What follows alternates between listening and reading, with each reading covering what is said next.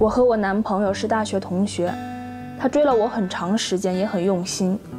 我当时非常感动，但等我真的和他在一起之后，我就觉得他变了，变得很消极，每天沉默寡言，不是睡觉就是打游戏，很不上进，也没有像追我的时候那么浪漫了。交往前，我觉得我的女朋友是个开朗又懂得倾听的姑娘。但是真的在一起交往之后啊，我就发现他实在是太粘人了，每天都像活在梦里一样。我觉得人就应该现实一点，而且男女平等，凭什么所有的事情都要我来哄着他？这样的恋爱真的让我谈得很累很累。我今天来参加这个节目，就想知道他到底是经历了什么，让他变成现在这样。如果他还是现在这个状态，我不知道我们俩还有没有未来。掌声有请这一对，有请。刘先生，二十二岁，来自河北学生；李女士，二十一岁，来自江西学生。来，有请两位，有请。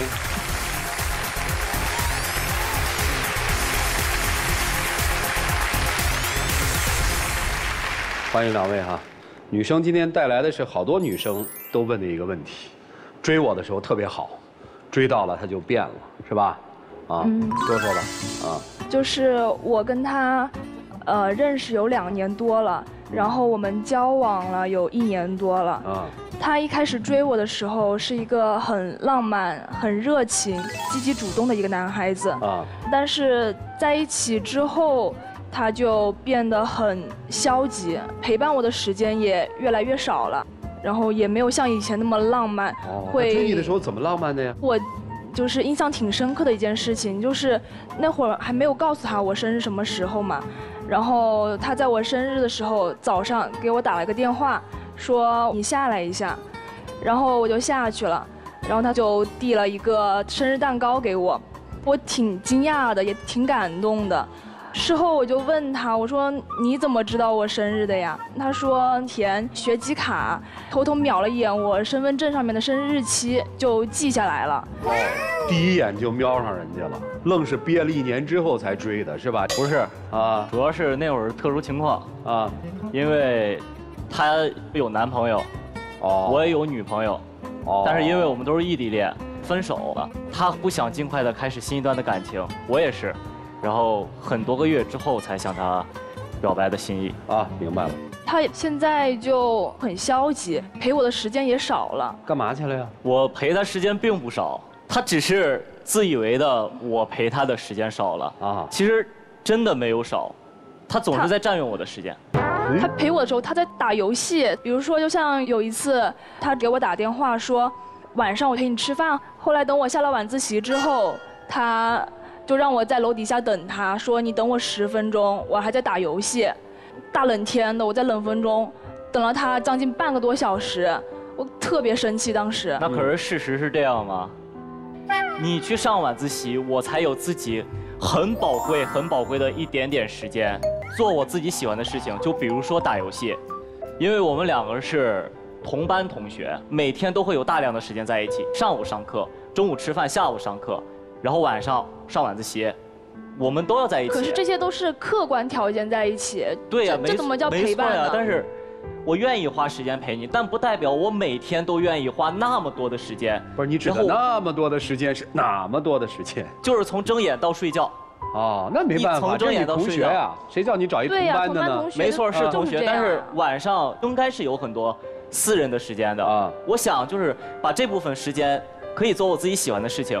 可是他之前不是这样的呀，那会儿他就陪我时间很多呀，然后现在就陪伴时间很少，而且还总埋怨我。埋怨你什么呀？就说我每天缠着他，黏着他，和他在一起。可是我因为喜欢他，所以我才会想跟他在一起啊。你喜欢我，也应该给我一些自己的时间，对不对？我是觉得，作为一个年轻人，应该以学习、读书为主，不应该就是说打游戏，然后整天待在宿舍里睡觉。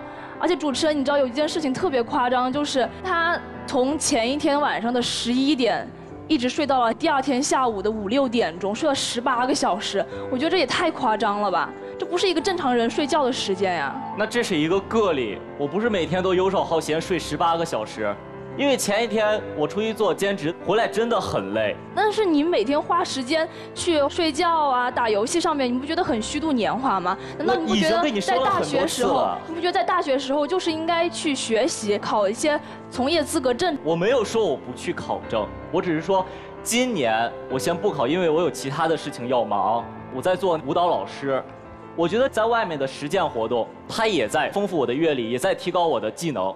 可是你考不了证，你就找不到工作。关关于证的辩论，咱们就不说了你既然找不是，我是觉得你既然连工作都找不到的话，那你按你这理论，你是不应该谈恋爱的。不是，因为谈恋爱最浪费时间。我是希望跟他一起进步，这样。没错，我就说咱证的事儿就不说了嘛，我们听懂了吗？还有还有别的吗？再者说，我做这些兼职也不完全是为了我自己。他没有直接向我提出过，但是每一次过节、逢年过节的时候，尤其是过一些很奇葩，你你要过什么儿童节呀？过儿童节你旁敲侧击的，可是别人都过呀，就旁敲侧击的，你你跟我说，其他的男朋友。给他的女朋友买了几百块钱一盒的巧克力，我不知道就这巧克力就那么好吃，还是说对你来说那么重要？那只是我认为生活中的一种仪式感。我觉得在爱情当中，仪式感是非常重要的。而且我并不是说成本也太高了我并不是说我就是需要多么贵的礼物，我只是觉得呃生活中应该需要点小惊喜。就像有一次我出去做一个兼职，那天还下雨，然后我还饿着肚子，我也没吃饭，我给你打电话让你来接下我。你就一直推三阻四的说你可以自己回来嘛，然后这个时候我朋友她男朋友从更远的地方来接她，然后还给她带了一个热腾腾的饺子，我这个只有对比才有伤害呀。主持人，你发现没有？他在诉说的每一个事例，都一定要带上别人，他真的从来看不到我的好。你要是做的好的话，我就是那次你给我打电话，我想去接你，但是你跟我说。另外一位女生，她的男朋友从很远的地方过来了，并且带了一份热气腾腾的饺子。就是因为你没有做好，所以我才会去。哦，原来我是这么不行。我是，我是为了让你做的更好，所以才举了这么一个例子，并不是说去对比。我只是说举个例子。哎呀，反正你就根本就不懂我，你也不是一心一意的在爱我。我怎么没有一心一意的在爱你啊？他当着我的面就直接跟他前女友打电话。我当时很生气，我也很震惊，为什么你当着我的面，你还能跟你前女友聊起天来？那个时候我们在湖边散步，那个前女友之前我没有联系过，她打电话过来，看到是她的名字，我没有迟疑，我就直接接了，然后她就拿这件事情说我，她说我就不应该接，应该考虑她的感受。当然呀，我说当然，我是在考虑你的感受之后才接的电话。为什么？如果因为你在旁边我挂掉了电话，那么你会不会就应该挂掉电话？而且我说过分的话了吗？而且以后我有再联系这样我也我真的我非常接受不了。如果换成你的话，我跟我的前任通电话，你接受得了吗？但是以后再也没有发生过嘞，也就那一通电话。你前两天你还给你前女友点赞，你们作为前任，难道就不应该互不打扰，各自安好吗？你就各过各的生活就好了。你为什么要跟他藕断丝连啊？为什么要去招惹他？点点赞，我在刷朋友圈。然后偶然刷到谁我都会点赞，这只是一个顺手的习惯而已。而且就那件事情上，给前女友点赞这是什么习惯我向你道过歉了，但是那在步行街上人来人往，然后他就为这件事情，在我道歉之后仍然大吵大闹。以前我觉得他就是很善解人意，挺温柔一个女孩子，然后到现在，无论他生气还是我生气。全部都是我的错，那是因为这这就是你的错，还是我的错？你错了我才会生气。全都要我去道歉。你长此以往，你的错我的错都是我来道歉，我凭什么呀？所以今天来干嘛呢，女生？我就是觉得他之前是一个挺好的男孩子，现在就坏了是吗？也不是坏了，就变了。啊，要干嘛嘛？来希望他能改正这些错误啊，改正这些毛病，这些坏毛病。都有哪几点坏毛病啊？对我陪伴时间不够多。打游戏，睡觉不上进啊，还和前女友联系。哎呀，这基本就不能要了吧？你看，跟前女友联系，这叫用情不专；睡懒觉、打游戏，这叫不思进取；对你不陪伴，这叫压根儿心里没有你。可是他以前不是这样的，可是他以前不是这样的。这这，我就希望他能改正这些错误。听明白了啊？要改改错误。兄弟，你今天来干嘛呀？我也想让他变回以前那样啊，多理解啊，多沟通，嗯，然后不要再那么咄咄逼人，多给一些我自己的时间啊。而且你也让着我点儿，那什么事儿就搞得我地位就非常低啊。可是我觉得。男生让着女生是一件很正常的事情，而且我也没有做什么多过分的事情。啊，我一点小脾气，难道你哄不了吗？啊你不哄我，你哄谁呀？天天小脾气。啊，你就希望能自由一些是吧？对，我只是希望他给我自己一点时哎，间，这一点时间是几天嘛？两天两个晚上给你自己，啊其他的时候你都陪他，啊，这这要求不高啊。可是我就是因为喜欢他，我才会黏着他的呀。我要是不喜欢他，我为什么要去黏着他呀？好好好，就是一一天都不能不跟我在一起，是这意思吧？差不多。啊，行，老师们你们看看怎么办吧。我们一起进入丘比特问卷。女生，你经常拿别人的男朋友和你的男朋友去做比较，这会越比越糟糕的。老话说得好，人比人要死，货比货要扔，这种比毫无意义。其他人再好是人家的，所以在这个问题上，我想女生你还是需要反思的。那男生呢？你刚才问了一个问题，凭什么一定让我先道歉？凭什么一定让我让着你？就凭你是男人。恋人之间吵架了，先道歉了，并不代表着是你错了，而是你珍惜他。我不止一次说过，我在家里的准则就是，我老婆说的一切都是对的。因为如果我要和我老婆去讲道理，那我真是不想过了。你和她去讲道理，有意义吗？因为她是你爱的女孩，你嘴上吃点亏又何妨呢？所以男生确实有点成年不成熟，你可能在这个问题上要反思一下。好，谢谢谢谢博红兄的分享。先来回答女生的几个问题。你在小票里面就说说他这个追上你之后就没有曾经对你那么好那么浪漫了，是不是？对，爱情不就是浪漫过后的平淡吗？可是平淡过后，我还是觉得应该要有点小惊喜。那是你要的，你想要的所有的东西，别人都能给得了你吗？这个世界不会完全按照你想要的方式去围着你转的。所以你要深刻的明白爱情到底是什么。激情过后的平淡期，才是感情真正升华的时刻。你不能那么矫情，不能什么都是我要的，我要的。刚才于老师说的特别好，感情、恋爱绝对不能横向对比，因为你横向对比，你看到是别人的生活，可是别人的生活你只是一扇窗户，你知道他们真正的感情是什么样？你知不知道那个可能就是秀恩爱，专门秀给你看的呢？你只要纵向对比，我怎么样，我们在一起怎么样就可以了。而说这个恋爱不能横向对比，这男生也挺有意思的。你较什么劲儿啊？人家说，哎呦，她男朋友给拿了一个饺子什么，哎，我本来想去的，我一听我偏不去了。你说你这恋爱能谈好吗？人家能不找你茬吗？所以你俩这不是在相互爱，你俩是相互在较量，看谁更胜一筹。你没有自己的生活和世界吗？你干嘛非要黏着他呀？谈一场恋爱，如果能够成为更好的自己，那这段恋爱谈得非常值。如果谈一场恋爱谈成了丧失自我的话，你说你多冤得慌呀！最好的青春，最好的年华，赶快充实自己，好吗？谢谢。好，谢谢莎娜老师。来，于老师，我们今天台上两个于老师，不过我对我们这位于老师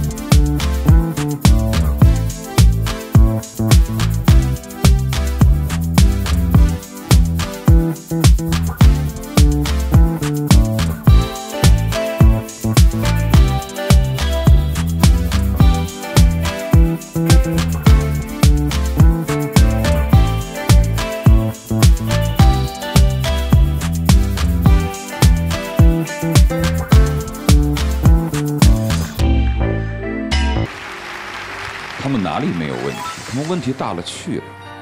他们哪里有那么相爱？你们俩的上一段恋情都是异地恋，对吧？对。因为寂寞而错爱，迟早会因为错爱而更加寂寞。你们没有真正的认识到你们上一段恋情的问题，迅速的走入了下一段恋情。你们之所以会把你们彼此和上一段的对方去比较，这是你们自私的一面。你们想找一个比上一个更好的，而没有意识到在上一段恋情当中自己的不足。一个人要是老不照镜子，老只是要求对方，你只会越找越差，因为自己的不好没有得到改变，而老是要求别人。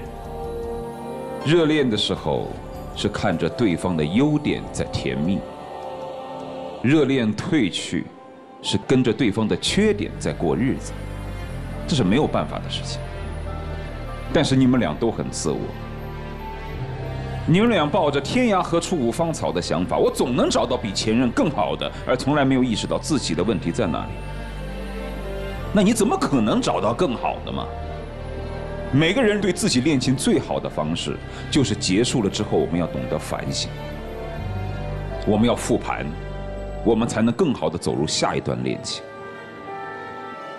所以，我觉得此时此刻，你们最好是把上一段和这一段都复盘一下，从自我反省。做起，既是对对方负责，也是对自己负责。就这样。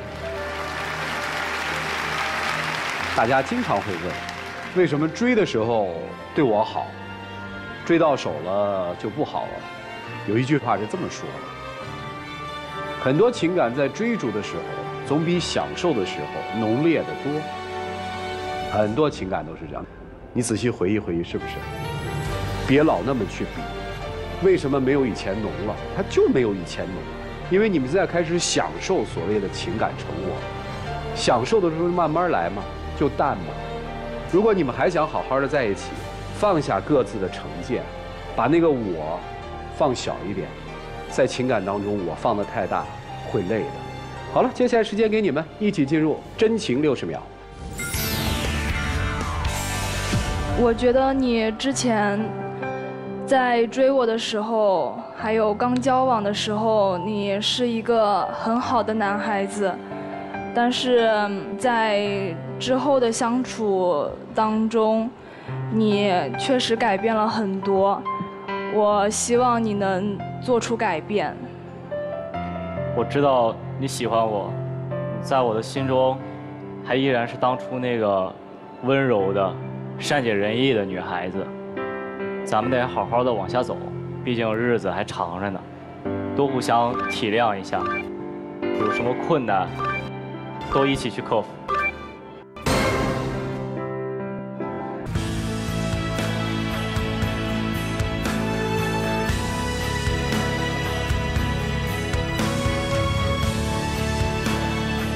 女生放的是什么呀？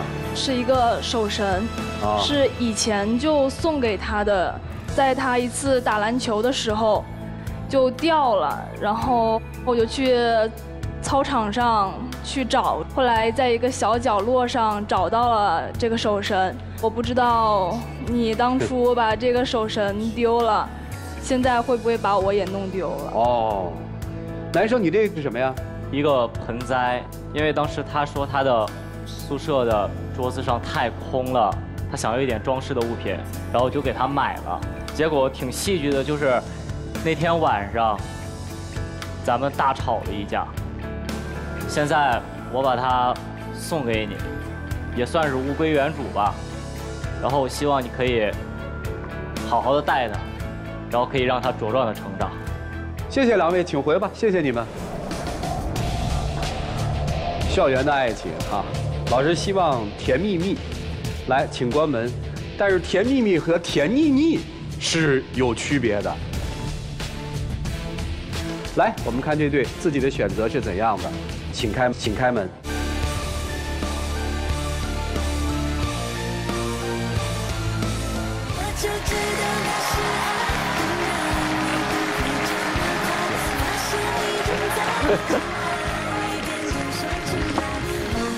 来，有请，有请小花童，有请。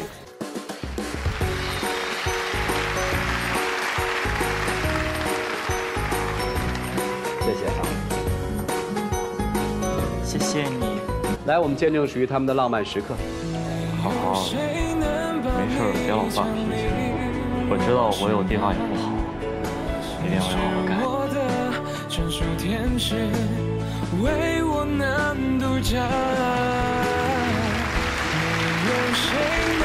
哎，一周能给人两天假吗？小鱼老师教你那方法特好，你得让他没有那么强的安全感。谢谢两位，请回吧。谢谢你们，请回。